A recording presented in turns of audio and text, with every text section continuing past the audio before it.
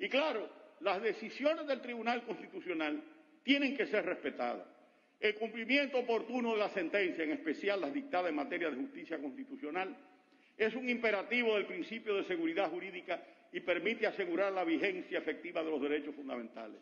Reiteramos que el incumplimiento de las sentencias del Tribunal Constitucional es particularmente grave, al ser este el órgano de cierre del ordenamiento jurídico en su ámbito competencial y dado el carácter de precedente vinculante que tienen sus decisiones jurisdiccionales para todos los poderes públicos y órganos del Estado. Muchísimas gracias a todos los que nos siguen en esta plataforma de YouTube, Voz Independiente con Huáscar de Peña. Verdaderamente agradecido porque esta comunidad está creciendo vertiginosamente. Está creciendo, se está compartiendo, están compartiendo los videos y la gente está recibiendo con agrado nuestros contenidos. De eso se trata, que la población dominicana comparta nuestros videos, miren nuestro punto de vista y dejemos a un lado el partidismo político y la militancia y nos enfoquemos en las necesidades más perentorias de la nación dominicana. Le puse un video. Ese video ustedes lo escucharon. Escucharon ese video. Lo vieron. Pero ¿de quién se trata? Se trata nada más y nada menos del magistrado juez presidente del Alto Tribunal Constitucional, Milton Ray Guevara. Señores, no es cualquier persona que está hablando. Estamos hablando de una persona que dirige una alta corte, de un magistrado de primera línea. Es, es más, lo que se decide en esa alta corte, Tribunal Constitucional, está por encima inclusive de las decisiones del presidente de la República y de sus decretos y de todo eso. Es el que está para que la democracia no colapse. Es el que tiene que velar por la constitución, porque se cumplan las leyes. Sin embargo, miren lo que le está diciendo. Eso es algo grave. Eso es, debe ser ahora mismo un motivo de escándalo nacional, porque él lo ha dicho en reiteradas ocasiones. ¿Y qué es lo que está diciendo Milton Rey Guevara con esto?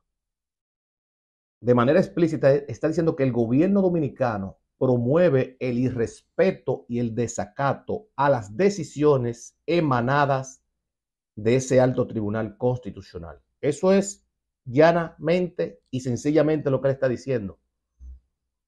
Lo que está diciendo es una realidad, lo que todos sabemos, pero la prensa no enfrenta porque, como siempre hemos dicho, está amarrada la nómina de las instituciones del gobierno, porque está coadyugada a lo que son los anuncios. Entonces no, no tienen definición, nadie puede expresarse, porque ahora lo que impera es el dinero.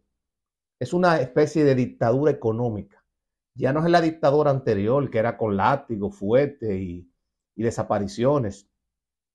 No, ahora es con dinero, porque ahora se presiona. Ahora se presiona a las altas cortes, se presiona a los ministerios, se presiona a los medios de comunicación. Y como ustedes saben, ningún medio de comunicación puede subsistir sin dinero. Por eso lo que está pasando en la República Dominicana es grave. Definitivamente en República Dominicana no se respetan los derechos fundamentales de los ciudadanos y eso es una muestra de eso.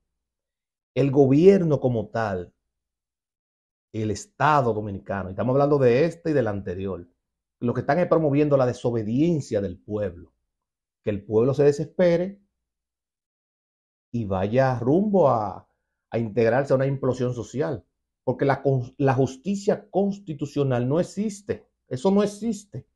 Dejémonos de engaños. Esa sentencia que le estamos mostrando es la sentencia 0317-14. Y yo como comunicador soy víctima de eso. Una sentencia que tiene ocho años y no hay forma de que se, que se aplique, de que se ejecute. Al revés, lo que recibo es persecución y amenazas del Estado Dominicano. Entonces, inclusive la Procuradora General de la República, que dice que es independiente, no es ninguna independiente, porque ella instó a funcionarios y servidores públicos y al Ministerio Público para que ejecuten las sentencias del Tribunal Constitucional. ¿Y saben qué pasó? No le hicieron caso. Siguen en desacato. Falta seguridad jurídica en la República Dominicana. Y ese video es una muestra clara de lo que yo he dicho. Muchísimas gracias por su atención. Huáscar de Peña, voz independiente.